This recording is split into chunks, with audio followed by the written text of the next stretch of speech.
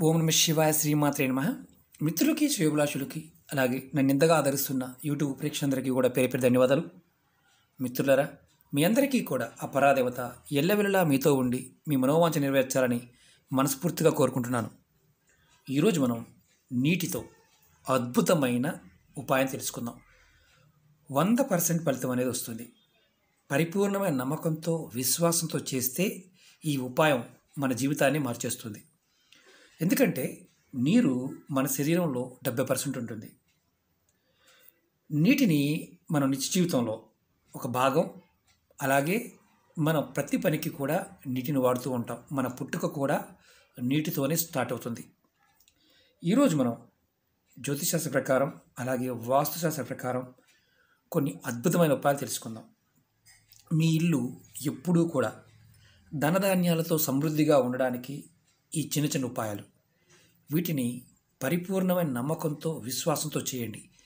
అంతేకాని ఏదో సరదాగా మాత్రం ప్రయత్నించేమాకండి అద్భుతమైన ఫలితాలని ఇచ్చే శక్తి జలానికి ఉంది ఎందుకంటే మనం పురాణాల్లోనూ అలాగే తంత్రాల్లోనూ నీటికున్న సా అంటే మనం ఇచ్చిన విలువ చాలా అద్భుతం. ఎందుకంటే శపించాలన్నా నీటితోనే శపించేవారు ఋషులు. నీటికి ఉన్న శక్తి అమోఘమైనది అద్భుతమైనది మనకి ఐశ్వర్యాన్ని ధనాన్ని అలాగే మన మనసులో ఉన్న కోరికల్ని నెరవేర్చగలిగే గొప్ప శక్తి ఉంది. జ్యోతిశాస్త్ర ప్రకారం మన ఇంట్లో అలాగే వాస్తుశాస్త్ర ప్రకారం కూడా పర్టికులర్గా కొన్ని స్థానాల్లో నీటిని నిల్వ ఉంచటం వల్ల నీటితో కొన్ని క్రియలు చేయటం వల్ల అద్భుతమైన ఫలితాలు వస్తాయి. అవేంటో పాయింట్ టు పాయింట్ తెలియజేస్తాను మీకు ఈ వీడియో నచ్చినట్లయితే లైక్ చేయండి నా ఛానల్ సబ్స్క్రైబ్ చేసుకోండి పక్కనే ఉన్న గంట సింబల్ని యాక్టివేట్ చేసుకోండి పది మంది మిత్రులకి షేర్ చేయండి. మనం ఏదైనా సరే ఇంట్లో ఒక గదిలో ఏ ఏ గదైనా పర్వాలేదు ఆ గదిలో ఒక పాత్ర నిండా నీరు తీసుకోండి. దాన్ని ఆ గదిలో ఈశాన్యం ఉత్తర వైభాగంలో పెట్టండి. అంటే తూర్పు ఉత్తర కార్నర్ ఏదైతే ఉంటుందో దాన్ని ఈశాన్యం అంటాం. ఆ ఈశాన్యంలో ఉత్తరం వైపు భాగానికి గోడకి పెట్టండి. ఇలా మీరు ప్రతిరోజు కూడా ఒక బౌల్లో ఒక పాత్రలో అదే చిన్న అంటే మామూలు స్టీల్ గిన్నె పర్వాలేదు గాజుదైనా పర్వాలేదు ఏదైనా పర్వాలేదు. ఇలా రోజు మీరు ప్లాస్టిక్ కాకుండా గాజు కానీ స్టీల్ కానీ ఇత్తడిది కానీ మట్టిదైనా పర్వాలేదు ప్లాస్టిక్ మాత్రం పెట్టమాకండి. తీసుకొని మీరు ఈశాన్యానికి ఉత్తరం వైపు పక్కన పెట్టండి అంటే ఉత్తరపు గోడకి పక్కన పెట్టండి. పొద్దున్నే లేచిన తర్వాత ఆ నీటిని ఉదయాన్నే మొక్కల్లో పోసేయండి. ఇలా ప్రతిరోజు చేస్తూ ఉండండి. మీరు ఏదైతే పాత్ర పెట్టారో అదే పాత్రని మళ్ళీ మళ్ళీ మీరు వాడుకుంటూ ఉండవచ్చు. అది గ్లాస్ అయినా పర్వాలేదు స్టీల్దైనా పర్వాలేదు అంటే లోట అయినా పర్వాలేదు గిన్నె అయినా పర్వాలేదు ఏదైనా పర్వాలేదు. మీకు అందుబాటులో ఏదీ లేకపోతే మట్టి పాత్ర అయినా పర్వాలేదు కానీ ప్లాస్టిక్ మాత్రం వాడవద్దు. ఇది గుర్తుంచుకోండి. ఇలా ప్రతిరోజు చేయటం వల్ల మీకు ధనం అలాగే ఇంట్లో ధాన్యానికి అంటే తిండికి లోటు అనేది రాకుండా ఉంటుంది. అంత అద్భుతమైన శక్తి మీ ఇంట్లో వస్తుంది. అలాగే రెండో పాయింట్ చెప్తాను. మీ ఇంట్లో మెయిన్ దర్వాజా అంటే మీ ఇంట్లో ఏదైతే మీరు ఎక్కువ నడుస్తూ ఉంటారో మెయిన్ తలుపు అంటుంటాం కదా ఆ తలుపు దగ్గర మీరు ప్రతిరోజు కూడా ఒక చిన్న పని చేయండి. లోపల వైపు అంటే మీ దర్వాజాకి లోపల వైపు కుడివైపును కానీ ఎడం వైపును కానీ. గాజు బౌల్ కానీ స్టీల్ గ్లాస్ కానీ ఇలాంటి గాజు గ్లాస్ అయినా పర్వాలేదు.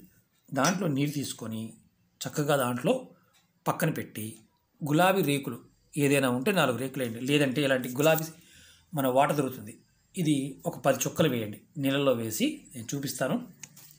ఉదాహరణకి కొంచెం పోసే నేను. ఇలా పోసి మీ ఇంట్లో దర్వాజాకి ఎడం పక్కన కానీ కుడి పక్కన కానీ ఎక్కడైనా పెట్టి ఉంచండి. ఇలా మీరు ప్రతిరోజు వేయండి. అంటే గులాబీ రేకులు ఉంటే వేయండి లేకపోతే గులాబీ వాటర్ దొరుకుతుంది దాన్ని వేయండి.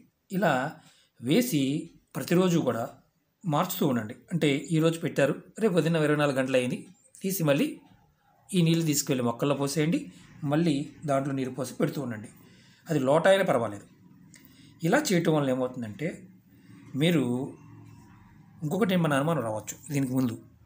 మళ్ళీ బ్రష్ చేయాలా లేకపోతే ఉదయం పోసేటప్పుడు స్నానం చేయాలా అని ఏమీ చేయాల్సిన అవసరం లేదు. ఎటువంటి నియమం లేదు. అది గుర్తుంచుకోండి. బ్రష్ కూడా చేయవలసిన అవసరం లేదు. ఎటువంటి నియమం లేదు. రా ఈరోజు పెట్టాము.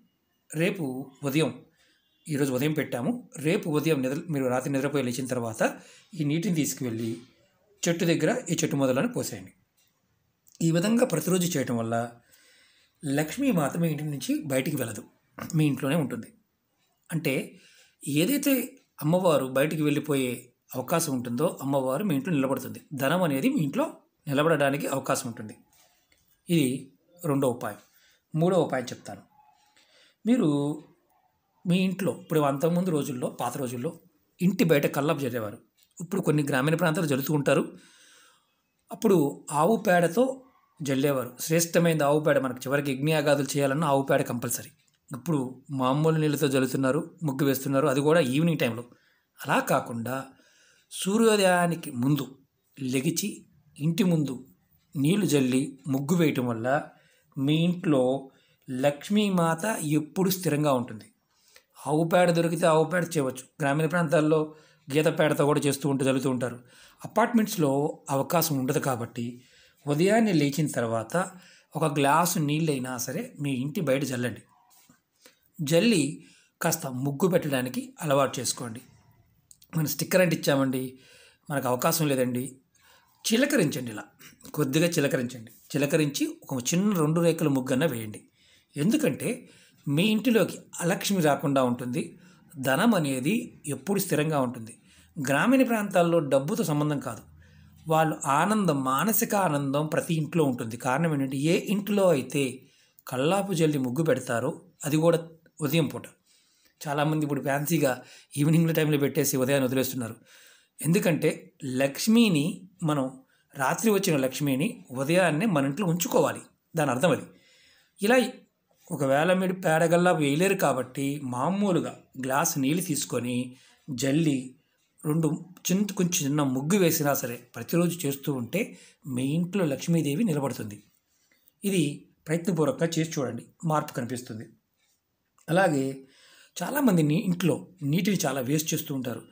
మీ ఇంట్లో ట్యాప్స్ కానీ అంటే వాటర్ వాడుకునే బాత్రూంలో కానీ షింక్లో కానీ టాయిలెట్స్లో కానీ లీకేజ్ ఉన్న వాటిని ఆపండి. నీటి వాడకాన్ని పొదుపుగా వాడండి. ఏ ఇంట్లో అయితే నీటిని పొదుపుగా వాడతారో ఏ ఇంట్లో అయితే నీరు వృధాగా పోకుండా ఉంటుందో ఆ ఇంట్లో ధనం అనేది నిలబడుతుంది. ప్రయత్నపూర్వకంగా చెక్ చేసుకోండి. అలాగే ఇంకొక పాయింట్ చెప్తాను. మీరు మంచినీళ్ళు తాగుతున్నప్పుడు మీరు ఎవరైనా సరే నీళ్ళు తాగుతున్నప్పుడు మీరు మనసులో ఈ విధంగా అనుకోండి. ఈ నీళ్ళు తాగడం వలన నా శరీరంలో ఉన్న రోగాలన్నీ తగ్గిపోతాయి. నా మనసు బాగా పనిచేస్తుంది.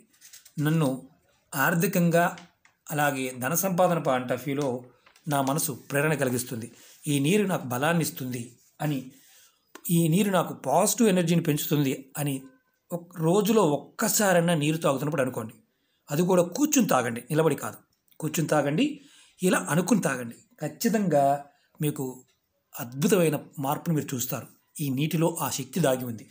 అలాగే మనం ఇంకొక తేలికైన ఉపాయం చెప్తాను. ఇంకా చాలా ఉన్నాయి కొన్ని వందల ఉపాయాలు ఉన్నాయి కానీ కొన్ని మీరు చేసుకోవడానికి ఈజీగా ఉండే చెప్తున్నాను. నాకు ఏ పని అవడం లేదండి ఏది జరగడం లేదండి అసలు నాకు ఉద్యోగం రావడం లేదు మానసిక అశాంతత అన్ని సమస్యలేనండి అనేవారు ఎవరైనా సరే ప్రతిరోజు మీ ఇంటి దగ్గర నుంచి కొంచెం నీరుని ఒక గ్లాసులోనో లోటాలోనో లేకపోతే ఇత్తడి దాంట్లోనో కాపర్ దాంట్లోనో చివరికి ప్లాస్టిక్ డబ్బాలో కూడా పట్టుకు వెళ్ళొచ్చు కానీ ప్లాస్టిక్ డబ్బా కాకుండా మీరు ఏదైనా ఇలాంటి కాపర్ వెజల్లో కానీ లేదంటే గాజు దాంట్లో కానీ తీసుకుని వెళ్ళి మీ దగ్గరలో ఏదైనా శివాలయం ఉంటే ప్రతిరోజు శివుడికి ఆ నీటితో అభిషేకం చేయండి. ప్రతిరోజు కూడా. లేదంటే వారానికి ఒక్కసారి ప్రయత్నం చేయండి. మిత్రులారా మీరు ఏది కోరుకుంటారో ఆ కోరిక అనేది ఖచ్చితంగా నెరవేరుతుంది. మీరు నీరు శివలింగం మీద ఇలా పోసి నంది చెవులో మీ కోరిక చెప్పండి. ఖచ్చితంగా మీకు ఏది కోరుకుంటారో అది వచ్చి తీరుతుంది. నీరే కదా అని తక్కువ అంచనా వేయమాకండి. ఈ ఉపాయాలన్నీ కూడా మీరు ఏది ఆచరించగలిగితే దాన్ని ప్రయత్నించేయండి.